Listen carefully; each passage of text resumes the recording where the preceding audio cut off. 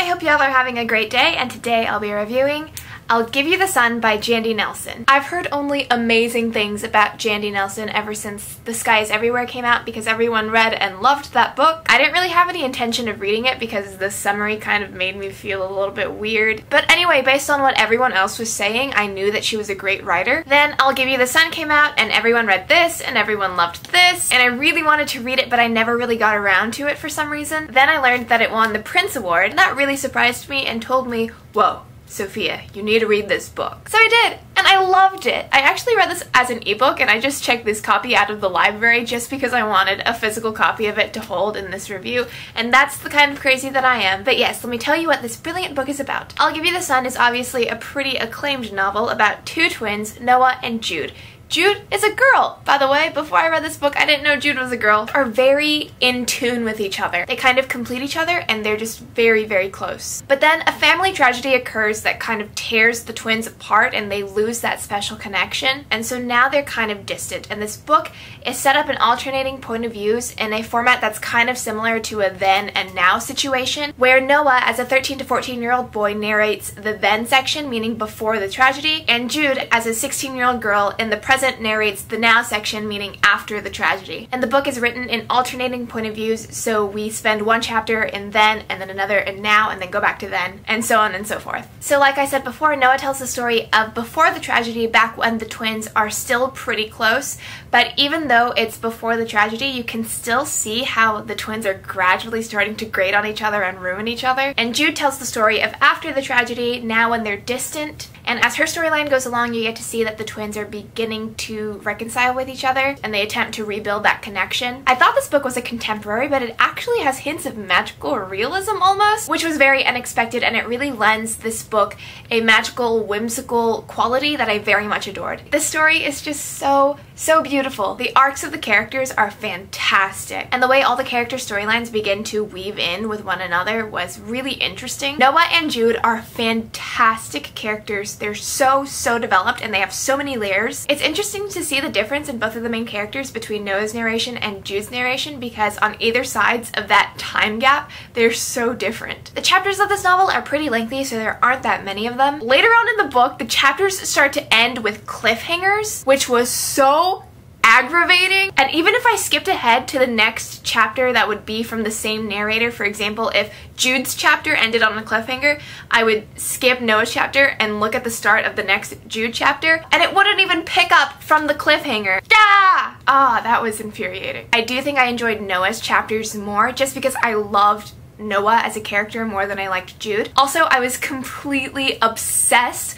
with Noah's romantic relationship. It was so cute and electric and oh my god, I just I loved it so much. Jude also has a romantic relationship and I enjoyed that as well, but definitely not as much as I enjoyed Noah's because Jude's is more typical YA, whereas Noah's just felt really special to me. Also, speaking of Noah and romance, Noah is gay, so yay for diversity. Outside of Noah's romance, another reason I enjoyed Noah's chapters more is the writing. The writing in Noah's chapters is so spectacular. It's very abstract and metaphor heavy, kind of like Tahereh Mafi's, but in Jandy Nelson's case, it actually worked for me. I know a lot of people love Tahereh Mafi's writing and they say that it's like super beautiful, but personally, I'm not really a fan. I think sometimes Mafi's figurative language misses beautiful and instead lands on absurd. But I am not reviewing Tahereh's books right now, I'm reviewing Jandy Nelson's. And Jandy Nelson's writing I loved. I thought Jandy Nelson's prose was breathtaking. As I mentioned before, I read this as an ebook, so I highlighted so many awesome quotes. That being said, the writing style is definitely not for everyone.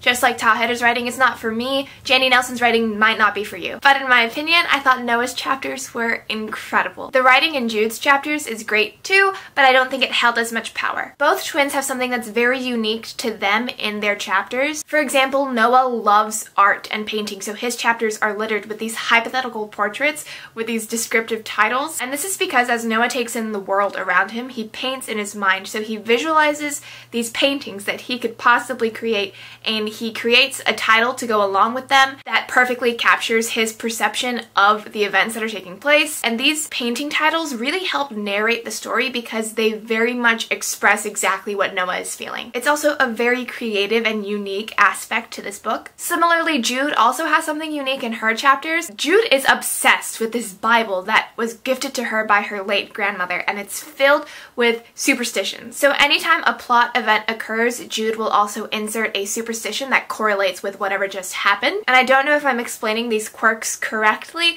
but when you read this book, which I really, really, really hope you do, you'll see what I mean. I said this in my Goodreads review, and emotionally, I would give this book all the stars. Emotionally, I would give this book the sun. Ah, you see what I did there? But when I take into account how rushed the ending was and how almost aggravatingly predictable the plot was, I do have to drop this rating down to like maybe a four and a half stars. This book is definitely one of my new favorites. I think it's a must read. I loved it so much. I loved the writing, I loved the characters, I love the story. Jandy Nelson absolutely slays at perfectly capturing a realistic and emotional family dynamic. I'm so glad this book won the Printz because I really, really think it deserves it. I know I'm praising this book a lot, but I just seriously love it so much. That's it for the non-spoiler section, so if you haven't read this book, what are you doing? Go read it. It's fantastic. I recommend this book with all my heart. But yeah, if you haven't read I'll Give You the Sun, I'm gonna advise you to leave now. I'm gonna go into spoilers in three, two, one. Now, I'm obsessed with Noah and Brian. I think they're the cutest thing in the world. I don't know what happened to my voice right then, but ugh, moving on. When Noah shouted that Brian was gay in front of Courtney, I just, oh, ah, oh, it was so cringeworthy. I was like, Noah, please stop. You're gonna regret it. Don't do it, don't do it, don't do it. But he did it. Jeez, Noah, that's not okay. You can't just do that. I mean, I love Noah to death regardless, but seriously, that was not cool. Jude and Oscar, or should I say Oscar, were interesting. They were very intense considering they didn't even really know each other. And also their age gap kind of threw me off. Jude is 16, Oscar's 19, Jude is in high school, Oscar's in college, and as a general rule, I'm not a really big fan of relationships that reach across the gap between high school and college students. But, of course, there are exceptions to every rule, and since Jude and Oscar are practically like prophesized to be together. I guess they're an exception. I thought basically everything about this plot was predictable. The only thing that surprised me was that Guillermo was the one who sent in the photos of Jude's sand sculptures to CSA. I wasn't expecting that, but everything else, like the mother having an affair with Guillermo, Jude ruining Noah's chances of getting in, etc., that was all easy to see coming. Oh wait, something that really surprised me and almost had me suspending my disbelief actually was when Jude googled Brian and she learned that Brian became this gay baseball star person who kind of revolutionized the way professional sports looked at sexual orientation. Also, he got into Stanford and attended Stanford a year earlier than what was expected